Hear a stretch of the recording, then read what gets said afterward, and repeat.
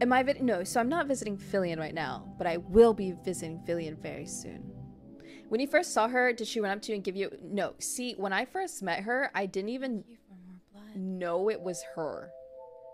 Yeah, actually, what happened is that she very quietly.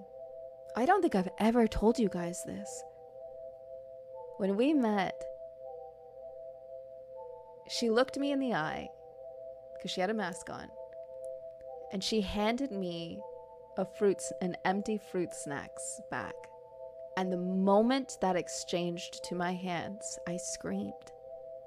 And I gave her a really big hug, and I was so happy to see her.